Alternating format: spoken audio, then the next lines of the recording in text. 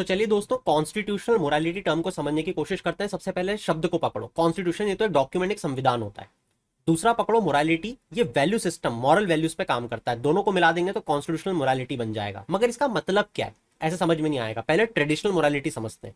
Traditional मतलब कि पुराने जमाने की बात चल रही है और मोरालिटी मतलब उस समय का वैल्यू सिस्टम आपने बहुत बार सुना होगा पुराने जमाने के लोगों से कि अगर हमारे समाज से दूसरे समाज में आके शादी कर लोगे तो अनएथिकल प्रैक्टिस होती है।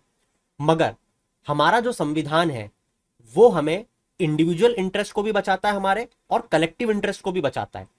तो अगर हमारी जुडिशरी इस डिसीज़न को देखेगी क्या ये अनएथिकल है, दूसरे समाज में शादी करना, वो देखेगी नहीं है। क्यों? क्योंकि वो रीजनिंग लगाएगी उसमें, वो अपनी रैशनैलिटी को लगाएगी। तो हमने ये देखा कि ट्रेडिशनल मोरालिटी में, जहाँ पे कस्टम कन्वेंशन की बात चलती है पुराने जमाने की, उसमें अगर रैशनैलिटी और रीजनिंग को जोड़ देते हैं हम तो कॉन्स्टिट्यूशनल मोरालिटी बन जाती है।